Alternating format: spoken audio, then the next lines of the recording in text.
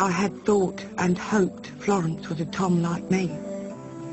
But here she was, married, with a child, and so stern and serious and thoughtful.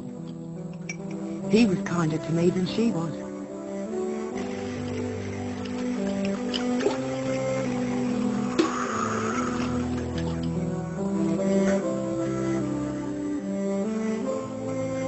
And there was nothing more in it than kindness. I was sure of that. Gentle as Jesus he was. And her working, working for her friendless girls, no doubt.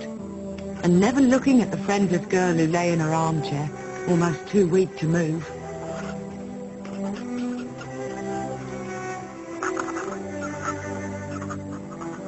Well, well, I'll turn in.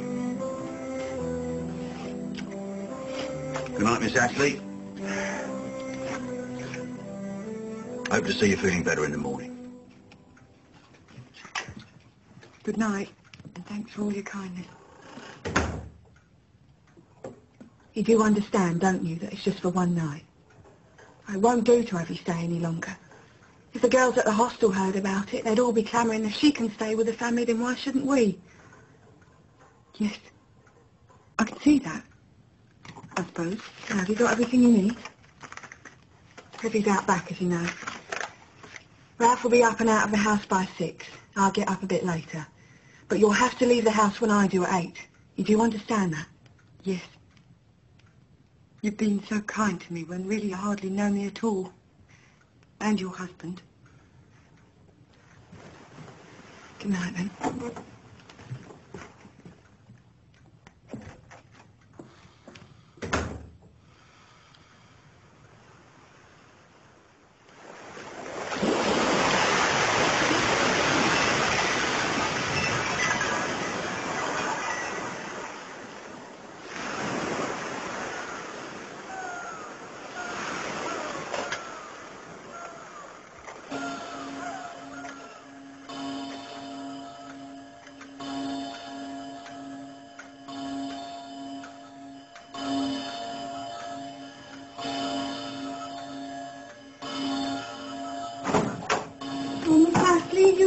Yet.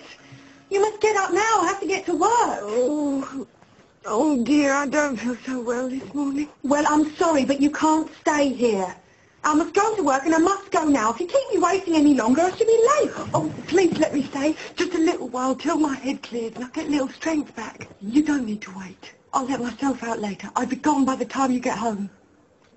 You could trust me. I wouldn't take anything. All right, you may do as you said and let yourself out. There's precious little to steal here anyway. Now, I've made you a list of places you might find a bed in, and some places where you might find work. Oh, and Ralph left you this half crown.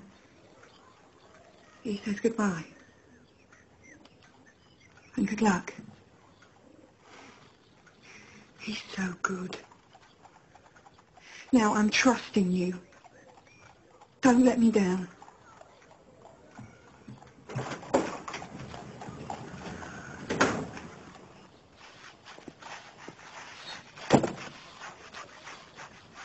Hello. Hello. Who are you? Just a friend of the family.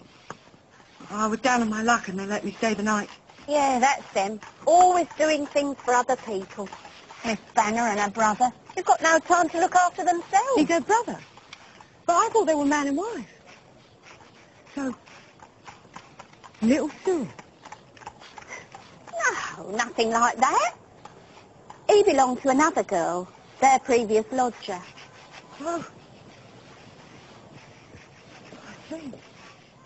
Then, I knew what I should do. I would make myself indispensable.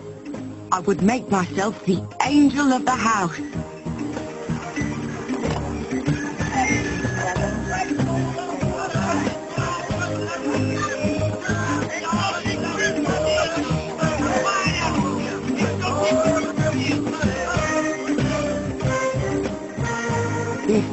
Be my new home.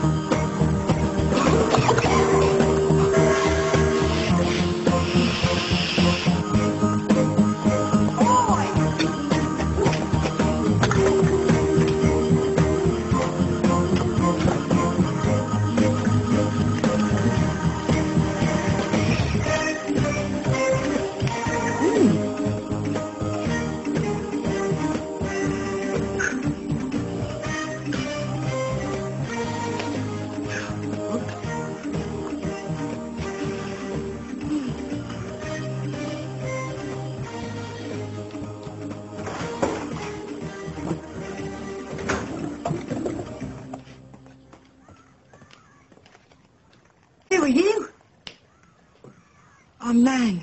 Astley. I'm just visiting here for a while. You've been making your presence felt. I've never seen it so tidy. Thought I'd come in the wrong house. Yeah, I'll come to drop these leaflets off. I'll tell Florrie. I'm ah, Annie. Annie Price. Bet you can't guess what I do for a living. Chimney sweep? Hey, you're not far off. I don't crawl up chimneys, I crawl down drains. Yeah. I'm a sanitary inspector. The stinkiest job in London and I love it. Mm, lovely smell. What is it? Oh, beef and oysters. I'd better see to it if you'll excuse me. Oh, hello. Yeah, I brought them like I said. Yeah, but I've got to run now and I'll be late. No, something very nice, I think, called Nan. you wait and see, I'm never wrong. Bye, Miss Astley.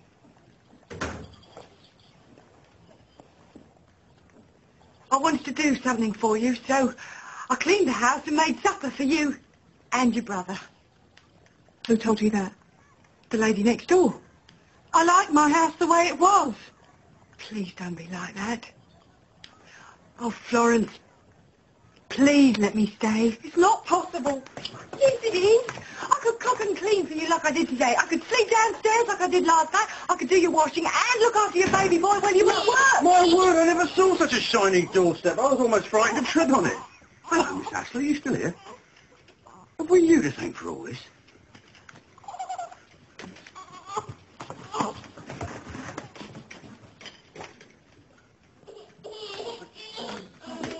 It's just been... Oh, let me Oh, have Cyril, it. Cyril, I- No, no. it won't do. Look, please.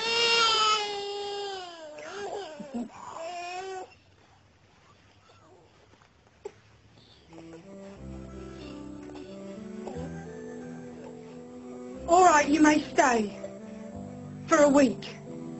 And if the week works out, we shall try it for a month. But if it doesn't work, you must go.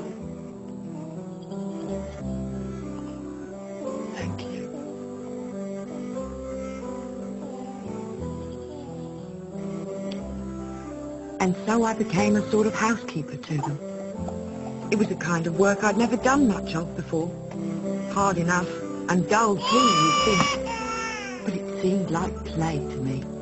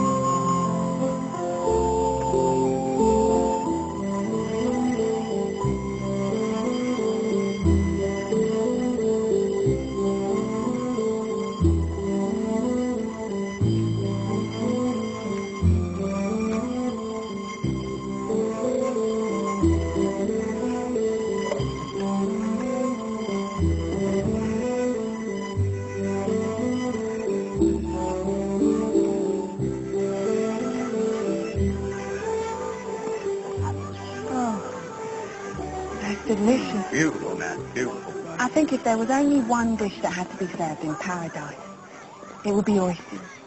No, beef and oyster pie for me. But oysters, definitely. And it would be a socialist paradise, of course. Equal shares for all. And who would be there with you to share it? Oh, in paradise,